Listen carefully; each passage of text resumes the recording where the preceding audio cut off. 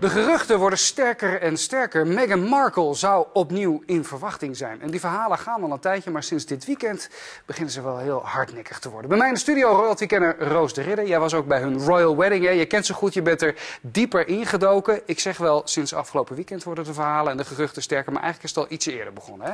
Dat klopt zeker, sinds donderdag. Maar ik wil even zeggen, zijn vooral de royal fans hè, in Engeland. Die gaan helemaal los op alle accounts en hun Twitter en Instagram account. Waar ze Ja. zeggen, je bent hartstikke zwanger. Ze hebben nog zelf niks officieel bevestigd. Maar het begon inderdaad allemaal afgelopen donderdag. Toen was ze hier bij de Field of Remembrance. Ehm, dat was eh, ter herdenking van de oorlogsslachtoffers. En ja, toen had ze deze jas aan. En ja, wat zie je hieronder? Ja, ik vind dat je hier niet zo heel veel kan zeggen. Je weet niet, wat had ze eronder aan? Misschien een dikke trui, dat riempje, dat de jas misschien een beetje bolt. Ja. Maar hiervan dachten mensen al, nou, daar zit hij. Het zou wel eens kunnen. Het zou kunnen. Maar nogmaals, ik wil graag niet vetshamen voor haar. Je weet het gewoon niet. Heel terecht, maar is er dan niet wat meer bewijs, wat meer beeldmateriaal? Nou, afgelopen zaterdag gingen ze naar de Royal Albert Hall. Daar wa- was een speciaal concert om ook eh, te herdenken voor de oorlogsslachtoffers. En daar droeg ze deze zwarte jurk. Nou, daar zie je ook, de riem zit vrij hoog. Ach, die taille. Maar goed, daar kun je niet zo van zeggen. Maar het gaat hier om, dat handje. Deze houding. Deze houding. Dat handje is, namelijk heel bekend voor Meghan, want dat had ze ook de hele tijd toen ze zwanger was. Daar werden mensen op een duur zelfs kwamen er posts van, moet ze nou altijd die buik vasthouden als ze Ja, zwanger is? ja. Het antwoord is eigenlijk ja.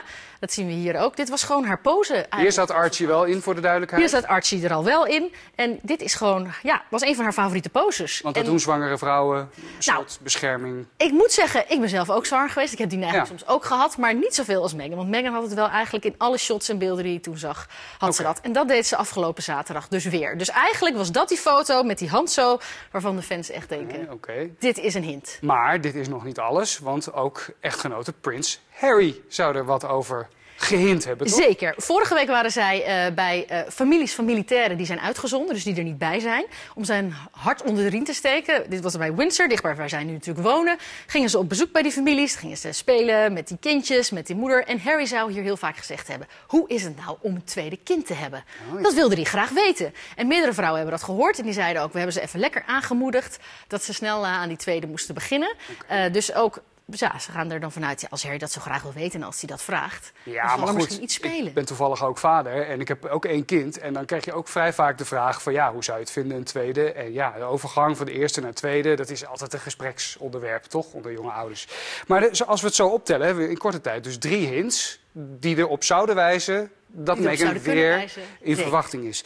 Ehm, zijn er nog meer eh, hints met, met, met kleding? Want het is toch wel heel spannend. Nou, ze stond erop bekend toen ze bekend maakte dat ze zwanger was eh, de eerste keer van Archie. Toen hadden heel veel mensen nog niet gezien, want toen had ze haar kleding heel goed uitgekozen. Ze droeg veel jassen, ze droeg veel riemen, waardoor dat ook niet opviel. Ja. Eh, maar wat ze nu doet is, ze recycelt zwangerschapskleding. Zwangerschapskleding die ze eerder ook al heeft aangehad. Hier zien we dus links, hier was ze zo'n vijf maanden zwanger van Archie. En rechts, dat was ze nog maar vier weken geleden, heeft ze dezelfde paarse jurk aan. Dus ook daardoor denken mensen, nou ja, als Ze je... is weer aan het verbergen. Ze is weer aan het verbergen en ze draagt zelf dezelfde kleding als toen ze nog zwanger was. Het zou natuurlijk allemaal kunnen. En het is natuurlijk hun zaak. Maar is het niet een beetje snel? Hoe oud is die Archie überhaupt? Nou, Archie is eh, zes maanden, dus precies een half jaar. 6 november is die eh, dat geworden.